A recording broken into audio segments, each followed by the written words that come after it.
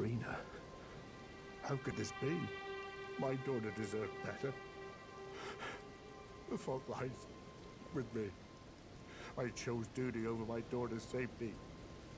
And that is how fate has answered. I'll find them. The foul wretch is responsible for this. I'll hunt them down and exterminate every last one of them. Rest assured, Irina, it will be done.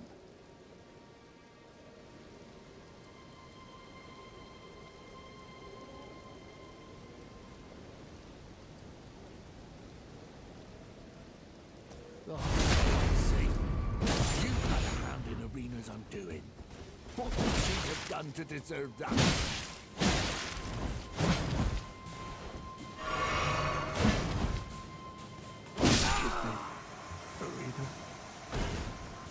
I will join you soon enough.